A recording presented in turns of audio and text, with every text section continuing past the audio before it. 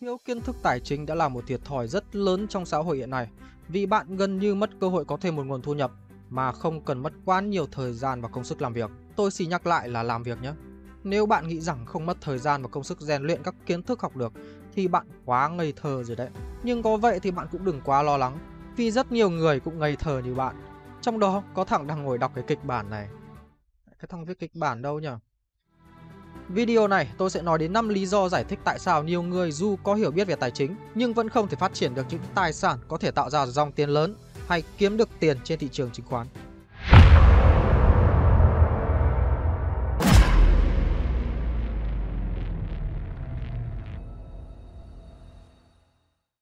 Lý do đầu tiên chính là nỗi sợ mất tiền. Nỗi sợ là bản năng nguyên thủy của con người để bảo vệ bản thân khỏi những nguy hiểm còn tiền là công cụ quan trọng trong xã hội để đảm bảo cuộc sống của mọi người, nên sợ mất tiền là điều rất hiển nhiên, dù bạn giàu hay nghèo. Chỉ là cách mà họ xử lý việc mất mát đó ra sao mà thôi.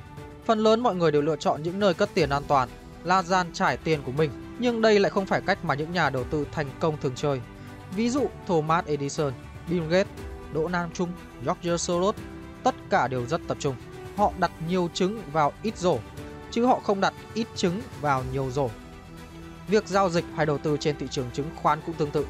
Mua quá nhiều cổ phiếu sẽ khiến bạn dễ rơi vào trạng thái tê liệt lựa chọn và rất khó để đưa ra những quyết định cuối cùng. Lý do thứ hai là hoài nghi về mọi thứ, mọi cơ hội, thậm chí là chính bản thân mình. Quân sách dạy con làm giàu có chia sẻ rằng những người yếm thế không bao giờ chiến thắng. Sự nghi ngờ cùng với nỗi sợ hãi chính là hai nhân tố tạo nên người yếm thế. Những người yếm thế thì hay phê bình, còn những người chiến thắng thì phân tích mọi việc. Những người luôn hoài nghi này nằm ở bậc 3 trong các cấp bậc đầu tư cũng là cấp bậc tồi tệ nhất mà tôi từng giới thiệu trong video trước. Nên chi tiết hơn tôi không nói lại nữa. Để khắc phục những lý do này thì các bạn hãy nhớ rằng việc chỉ trích chỉ khiến cho ta mù quáng, còn phân tích sẽ giúp ta sáng mắt và tìm ra những cơ hội mà ít người thấy được. Lý do thứ ba là sự lười biếng. Cách để điều trị sự lười biếng là một chút tham lam, chỉ một chút thôi nhá. Nếu không bạn sẽ bị nó chi phối. Khi có một đứa trẻ đòi một thứ đồ nào đó thì dưới góc độ là cha mẹ, bạn sẽ chọn cách nào? Thứ nhất là không mua rồi nói rằng mình nghèo khó với tâm trạng tức giận. Thứ hai là mua ngay lập tức với lý do hy sinh to lớn. Tôi làm mọi việc cho bọn trẻ. Dù bạn chọn cách nào trong hai cách trên thì bạn cũng giống như tôi. Vẫn có suy nghĩ của những người chưa giàu. Vì người giàu họ không chọn hai cách trên mà sẽ hỏi lại đứa trẻ Con làm thế nào để mua được nó? Vì câu hỏi này sẽ bắt bọn trẻ phải vận dụng trí não và tìm kiếm câu trả lời. Lý do thứ tư chính là thói quen. Cuộc sống là tấm gương phản chiếu các thói quen hơn là sự giáo dục.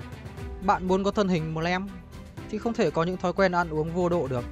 Quân sách cũng chia sẻ thêm rằng những người giàu thường có thói quen nợ. Ví dụ như ông này thế chấp tài sản để vay tiền, ở nhà thuê vân vân. Nhưng hãy là còn nợ có trách nhiệm. Lấy nợ làm áp lực làm việc, bắt mình phải nghĩ ra nhiều cách để tạo thêm thu nhập. Tôi bổ sung thêm là những món nợ này là nợ tốt chứ không phải nợ xấu bạn dùng nợ để xây dựng tài sản tạo ra thu nhập thì đó là nợ tốt. Nếu khoản nợ của bạn tạo ra tiêu sản thì đó là nợ xấu. Lý do thứ năm là một trong những đại tội ở nhiều tôn giáo, đó chính là sự kiêu ngạo.